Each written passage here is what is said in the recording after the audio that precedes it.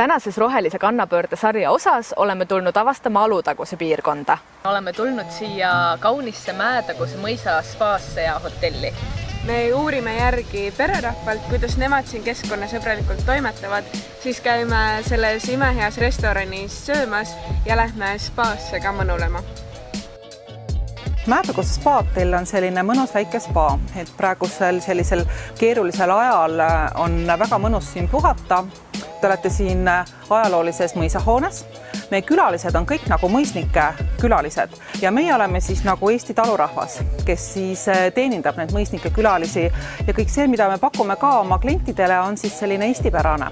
aga kuna viimane mõisnik oli ka natukene eh, vene verd, siis on ka siin sellist kas vene köögitatši või siis natukene sellist vene külalislahkust hoopis rohkem kui võib-olla mõnes muus kandis üks selline varjatud asi, mis klientide silma eest jääb nagu peitu, on see, et äh, kõik sellised puhastusvahendid äh, on meil äh, nii-öelda ökomärgisega. me ei oma küll rohelise võtmemärki ega ka luige oma, aga sellest hoolimata me kasutame keskkonnasõbralikke puhastusvahendeid. teine asi on see, mis, mille suunas me teel praegu oleme, et taustal te näete, pannakse üles ühte väga kihvti kasvuhoonet, kus me hakkame oma külalistele ise kasvatama maitserohelist.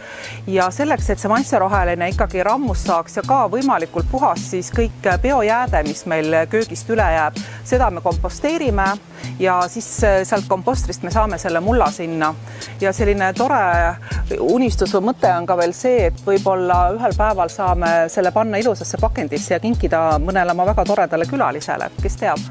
me peame lugu äh, kohalikust toidust et see tarneahel oleks võimalikult lühike, et niimoodi ongi, et äh, kasvõi siitsamast Mäetaguse ühe taluniku käest me oleme ostnud juba mitmel aastal kartuli kuna mullad ei ole siin soodsad näiteks äh, porgandi kasvatamiseks, siis nüüd on meil tehtud tellimus äh, sellele samale talumehele, kes on parendanud oma, parendamas oma mulda, et me saame ka porgandi tema käest osta. ja loomulikult ka kõik äh, lihad, mis on nii sealiha, küülik, kala, mis on Peipsi äärest, et pigem ikkagi nagu kohalike käest. ja ütleme, selline võib-olla päris suur asi on see, et meie hotell saab äh, elektrit äh, päikesepaneelide põllult, nagu me teda hel hellitlevalt äh, nimetame. nii et selline taastuvenergia kasutamine on ka üks meie prioriteete, lisaks sellele, et muidugi ta aitab ka kulusid kokku hoida ja lisaks sellele, et me oleme keskkonnasõbralikud, oleme me ka loomasõbralikud. et eh, kui meile hotelli on oodatud inimesed oma lemmikloomadega, siis eh, tegelikult neid võtab vastu ka päris tihti meie enda mõisa enda lemmikloom.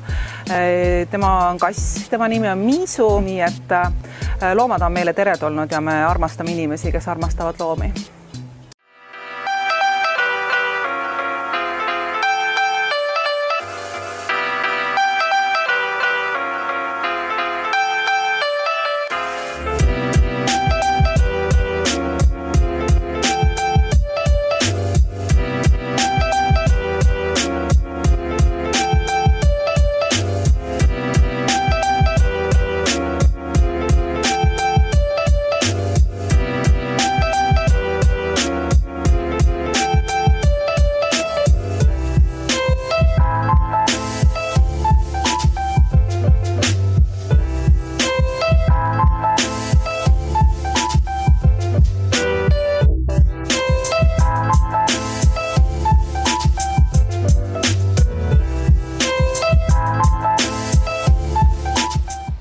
aitäh, et tulite meiega siia Alutaguse piirkonda uudistama, kuidas meie ettevõtted siin keskkonnasõbralikult toimetavad.